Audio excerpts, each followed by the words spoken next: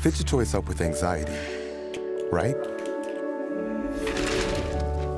We're ready to help you find a solution that works for mental health and everything else.